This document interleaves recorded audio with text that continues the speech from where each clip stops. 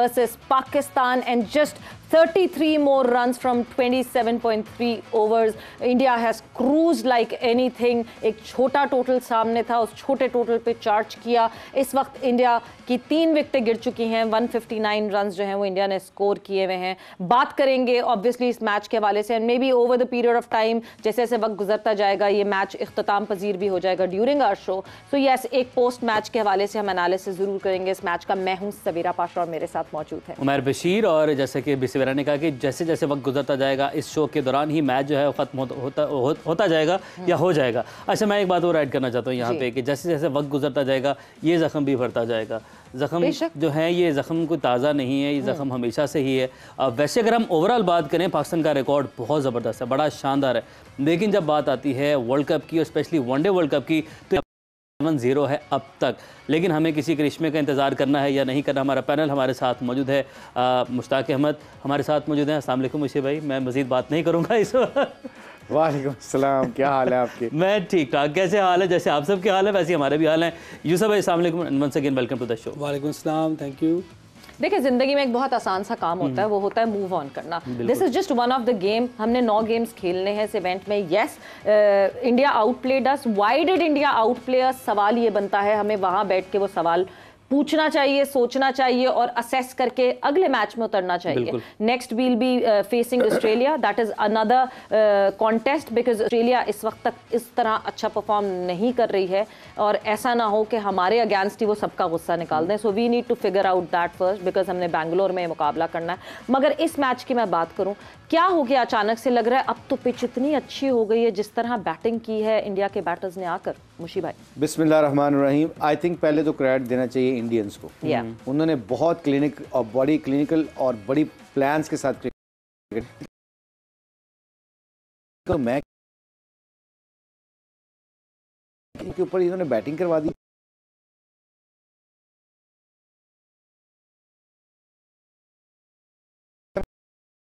को इन्होंने जिस तरह आउट हो गया पीछे ऊपर नीचे विकटें गिर गई। पर अगर इसकी इस मैच को अगर हम एनालाइज करें ना हम्म। तो ये माइंड सेट गेम है ये आई थिंक माइंड सेट की पूरी टेम्परामेंट की गेम है। मैंने ये देखा है कि जो हमारी पार्टनरशिप लग रही थी और जिस तरह ये आए हैं although they have no pressure to be very frankly यहाँ पे साढ़े तीन सौ लगा होता मुझे लगता है माइंड सेट बना लिया है। कि जो एशिया कप के दूसरे मैच में कैंडी के मैच के बाद इन्होंने शहीन के ऊपर अटैक करना शुरू कर दिया हम्म, हम्म। और गिल ने आके अटैक किया उधर फाइनल में जो भी फाइनल से पहले था सॉरी उसके अलावा देखे ना अब पहला बॉल उसने खेला रोहित शर्मा ने क्या किया? पटाख करके उसने चौका मारा। एंड ही टेल मतलब ये मुझे समझ आनी चाहिए कि हमारी जो मॉडर्न क्रिकेट है ना हम्म। उसके ऊपर हमारा इंटेंट मुझे आज इतना हम्म। तगड़ा नहीं लगा जितना होना चाहिए था एंड आज के मैच में जिस तरह जिस अप्रोच से टीम इंडिया उतरी है मेरा ख्याल से जहाँ रोहित शर्मा पाकिस्तान के अगेंस्ट उन्होंने रन बनाना शुरू किया या चौका मारा वो एक बाकी जो टीम्स रह गई हैं छह टीम्स जिनके साथ रोहित शर्मा और कंपनी ने खेलना है टीम इंडिया ने उनको भी एक स्टेटमेंट सेट किया कि इंडिया इसी मूड से आई है और टीम इंडिया इसी तरह खेलेगी बिस्मिल्लाहिर्रहमानिर्रहीम बड़ी मेहनत की उन्होंने टीम पे। और क्रेडिट जाता है ड्राविड को रोहित शर्मा को होल. टीम को मैनेजमेंट को। hmm. जिस तरह इन्होंने टीम बनाई है इन्होंने 30-40 प्लेयर्स लेके उनको कभी किसी को खिला रहे हैं कभी किसी को खिला रहे हैं। हल्की टीम आती थी रोहित भी बैठ जाता था कोहली भी बैठ जाता था। उन्होंने ऐसी एक टीम बनाई है कि एशिया कप में नज़र आया कि इंडिया एक बहुत बड़ी टीम है। और जितने भी एक्सपर्ट आप देखें दुनिया के हम्म। जिससे भी पूछ लें वो इंडिया को पहले रखते हैं। बाकी तीन टीमें कभी किसी ने साउथ अफ्रीका रख ली किसी ने इंग्लैंड रख दी हाँ। और यूसुफ कथा कलामी की माफ़ी आपको मैं एक एडन आपसे और पूछना इसी के साथ चाहती हूँ जो आप बात कर रहे हैं। पिछले साल बहुत क्रिटिसिज्म हुआ। इस पूरे पिछले साल टीम इंडिया के ऊपर बहुत क्रिटिसिज्म हुआ कि ये बहुत ज़्यादा ओवर शफलिंग कर रहे हैं। ये क्या कर रहे हैं? हम बायोलेटरल्स में जिस तरह परफॉर्म कर रहे हैं। मगर उस आउटसाइड वॉइस का प्रेशर नहीं लिया इन्होंने। बिल्कुल ऐसे ही करना चाहिए और बड़ी टीमें ऐसी ही बनती हैं कि हम्म। बाहर इन्हें पता था कि इनका क्या प्लान है ये हम्म। क्या कर रहे हैं। हम्म। इन लोगों का आइडिया था। और ये सारे एक दूसरे की रिस्पेक्ट करते हैं। डिसरिस्पेक्ट नहीं है।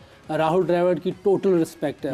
yes. उन्होंने टीम बनाई है। जैसे जैसे वो मिल के किया होगा ये नहीं कि खाली राहुल ड्राइवर ने किया है।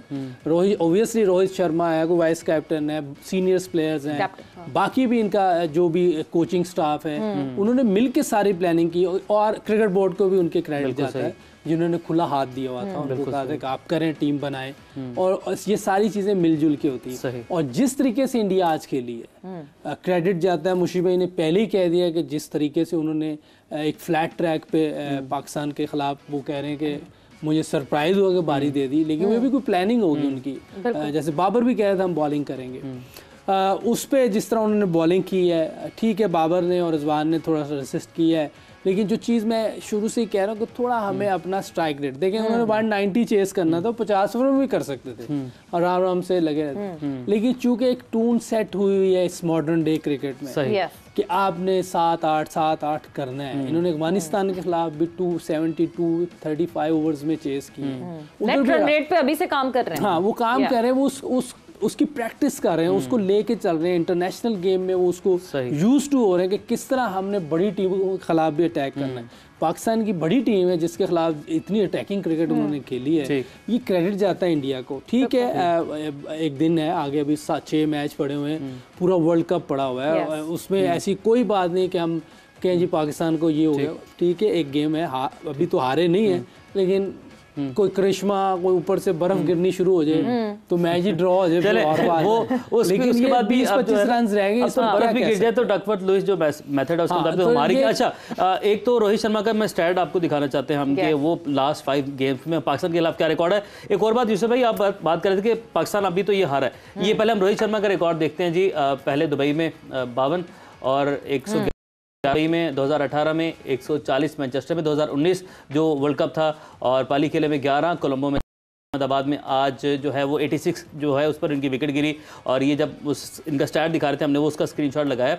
तो रोहित शर्मा और दूसरा पॉइंट आप जो डिस्कस कर रहे थे 92 में पाकिस्तान 43 रन से हारा इंडिया से 96 में 39 रन से हम हारे 1999 में 47 रन से हारे 2003 में हम छः विकेट से हारे उसके बाद 2011 में 29 रन से हारे। सबसे करीब हम 2011 में गए थे।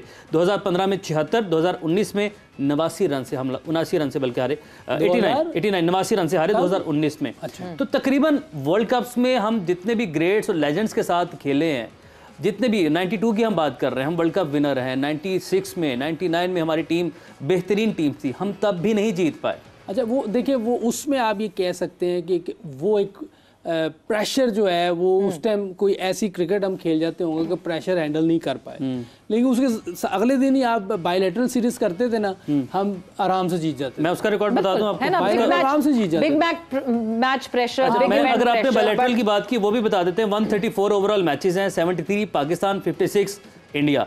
In Asia 101 matches अभी कुछ हुआ होगा ये रिसेंट नहीं, नहीं 73 73 73 नहीं उससे पहले बहुत बहुत फ़र्क था। अच्छा इन एशिया 58 पाकिस्तान 39 खास बात ये कि इंडिया में भी 47 मैचेस हैं 28 पाकिस्तान 19 हाँ। इंडिया। और फाइनल्स देखे ना टूर्नामेंट्स के तो हम्म। उसमें भी हम फाइनल्स ज़्यादा जीते मैं वो भी आपको बता देता हूँ सिर्फ़ एक वर्ल्ड कप का एक था उस टाइम का पैच जहाँ हम्म। अगर चैंपियंस ट्रॉफी देखें हमने हाँ। मारा है उनको। हम्म। हमने उनको सेंचुरियन में हराया है। हमने उन्हें बर्मिंगम में मारा है। हम्म। हमने उन्हें एशिया कप में बहुत दफ़ा मारा है। हम्म, ये सिर्फ़ एक वर्ल्ड कप है जिसमें वो फाइनल्स 11 में से 8 हम कह ले मैं फाइनल्स 11 में से 8 हम आज तो उन्होंने आउट क्लास कर दिया ना आज की बात छोड़ दे। हाँ। बाकी पीछे 2003 तक जो था मामला। नहीं आउट क्लास उन्होंने अभी रिसेंटली हमें एशिया कप में भी किया हाँ कह सकते तो वो ज़्यादा बड़ा आउट क्लास था जो वो किया। मतलब वो कंसिस्टेंटली पिछले दो मैचेस से आप देख लें तो देव टोटली हमने एक दफ़ा भी सवाल नहीं we never ask question in this match not even once हमने प्रेशर हम्म। डाला। मैं बात करूँगी माइकल वॉन की बात पे आऊँगी। माइकल वॉन ने जो है वो यहाँ पे कहा कि India have a psychological edge over Pakistan in the world cups definitely उन्होंने वो लिखा नहीं बट मैं एडअप कर देती हूँ। Pakistan have so much talent but they play like a team that doesn't believe they can beat the men in blue अब यहाँ पे दो बातें आती हैं। Is that the similar talent और is it that is the psychological pressure मतलब if अगर मैं टैलेंट uh, की बात करूँ और मैन टू मैन मार्किंग करूँ do you think are we similarly talented have we gone through all that rigorous effort जिससे टीम इंडिया गुजर कर गई? नॉट नॉट रियली आप देखे जाए इसने जो बात की है इट्स एक्चुअली इसे बैलेंस है जिसमें थोड़ा सा हमारा बिलीव भी कम लगता है जब हम इनके खिलाफ खेलते हैं। hmm. और दूसरा हमारा जो टैलेंट के ऊपर जो आपने कहा है या यूसुफ ने कहा है कि इन्होंने वेस्ट इंडीज के खिलाफ तीन ओडिया या पाँच ओडिया खेल के आए हैं। हम्म। पांड्या उसका कप्तान था. सारी टीम इन्होंने नहीं भेजी थी। हम्म। जिसमें ये सारे यंग लड़के जो बेंच पे भी बैठे हुए हैं। इन्होंने क्या किया? वो हार के आगे वहाँ से। जी। हार के आगे तो मैं ऑनेस्टली स्पीकिंग मैं आपके सामने बैठा हूँ। मैंने कहा ये क्या ड्रामेबाजी कर रहे हैं? You know like they are they not serious with cricket क्यों हारे हैं वेस्ट इंडीज से? मगर उसके पीछे जब मैं थोड़ा सा बैकग्राउंड देखा और एशिया कप में जब ये आए हैं तो तब पता चला है कि ये ऑस्ट्रेलिया के खिलाफ खेले हैं अभी जी। वर्ल्ड कप से पहले तब भी रोहित शर्मा रेस्ट कर रहे हैं तीन ओडीआई की जो सीरीज़ विराट कोहली भी रेस्ट कर रहे है.